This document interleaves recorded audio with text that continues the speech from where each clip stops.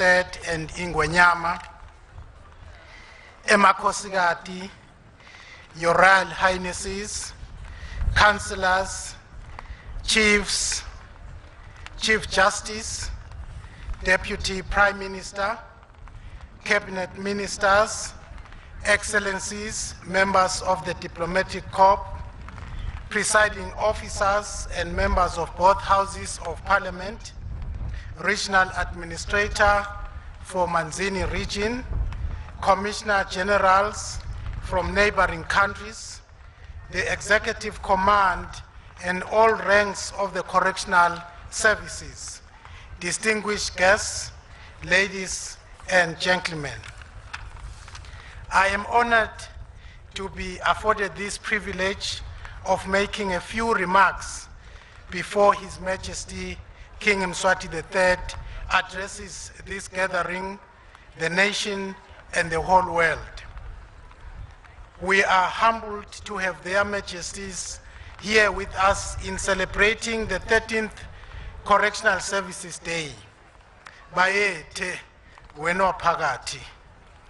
Let me take this opportunity to appreciate and acknowledge the important role played by His Majesty's Correctional Services in ensuring that all custodial and court sanctions are carried out with integrity and professionalism, which has contributed immensely to the desired outcome of public safety.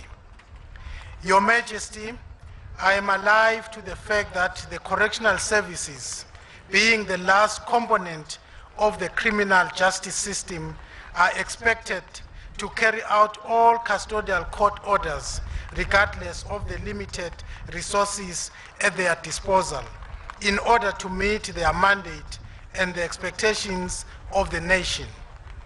Government will continue assisting the correctional services in finding effective strategies to lower their operational costs, especially utility costs like water and electricity.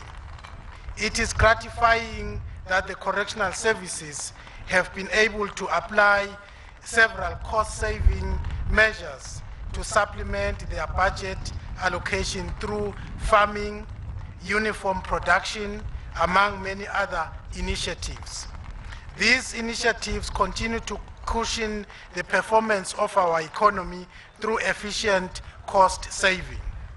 Through your guidance, Your Majesty, government has crafted a strategic roadmap aimed at reviving the economy, generating wealth, and creating an enabling environment for the private sector to thrive and create uh, more jobs. The roadmap, Your Majesty, has five key growth sectors and five priority themes assigned in implementing and enabling ministries and departments in order to fulfill the aspirations of sustained national development envisaged by this plan. The correctional services, for instance, has a huge role to play under the priority theme of service excellence, in line with their mandate and in conformity with this strategic roadmap.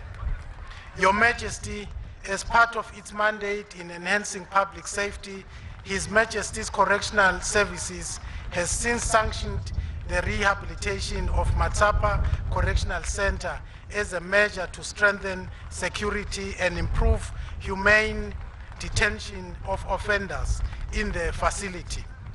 Government will continue to support the department in its endeavor to upgrade other facilities within available resources.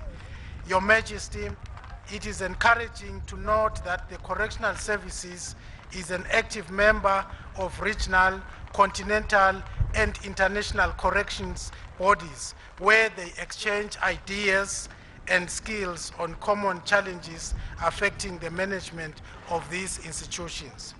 As government, we pledge Your Majesty to continue supporting the correctional services as it, as it implements its national mandate. It now gives me great pleasure to take this time to invite His Majesty King Mswati III uh, and Ingwenyama to address this gathering the nation and the whole world. Bayethe wena waphakathi nina bekunene sesifikile isikhathi lapho khona libhubesi eh, selitawubhodla eh, libhodle lesive sonke lesi lesikhona la nemhlaba wonke wakangwane eh, nemhlaba wonke eh, jikelele. Sitawucela ukuthi kube nekuthula bekunene eh, siphakame silo semhlaba sesitawuphefumula siphefumulela eh, lesive. Sitawucela ukuthi kube nekuthula bekunene. Bayethe